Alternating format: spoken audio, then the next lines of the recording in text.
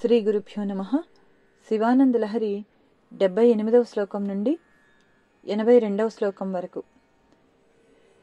సదుపచార విధిష్వనుబోధితాం సవినయాం సుహృదం సముపాశ్రితాం.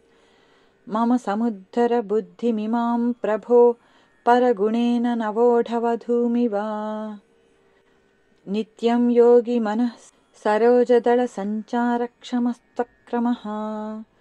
शम्भो तेन कथं कठोरयमराड्वक्षः कवाटक्षतिः। अत्यन्तं मृदुलं मनश्चिन्तयत्।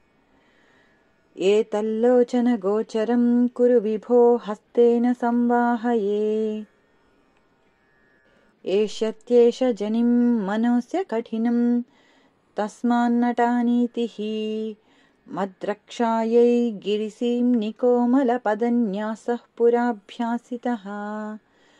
नो चेद्दिव्यगृहान्तरेषु सुमनस्तल्पेषु वेद्यादिषु। प्रायः सत्सु शिलातलेषु नटनं शम्भो किमर्थं तव?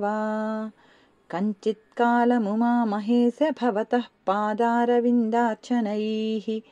कञ्चिद्ध्यानसमाधिभिश्च नतिभिः कञ्चित्कथाकर्णनैः कञ्चित् कञ्चिदवेक्षणैश्च नुतिभिः कञ्चिद्दशामीदृशीं यः प्राप्नोति मुदा त्वदर्पितमना जीवन् समुक्तः खलु।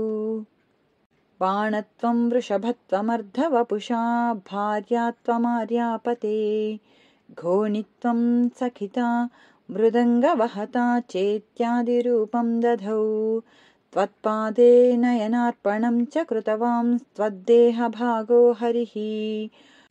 पूज्यात्पूज्यतरः स एव हि न चेत्को वा तदन्योऽधिकः